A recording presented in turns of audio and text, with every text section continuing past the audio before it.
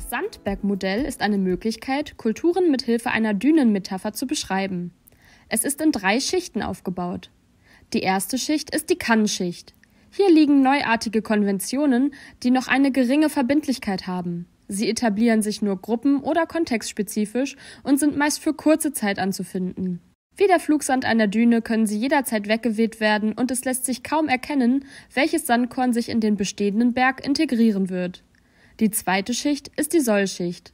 Hier finden sich allgemeingültige Verhaltensregeln oder gruppenspezifische Traditionen und Rituale. Durch ihre starke Konventionalisierung sind diese Kulturteile tief verankert und kaum beweglich. Die Schicht entspricht also der festen Dünenoberfläche. Die dritte Schicht ist die Mussschicht.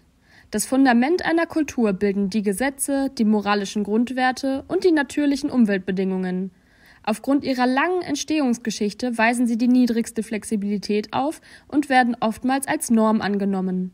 Damit sind sie vergleichbar mit dem Boden eines Sandbergs, auf dessen jahrhundertealter Sandschicht allmählich eine Düne herangewachsen ist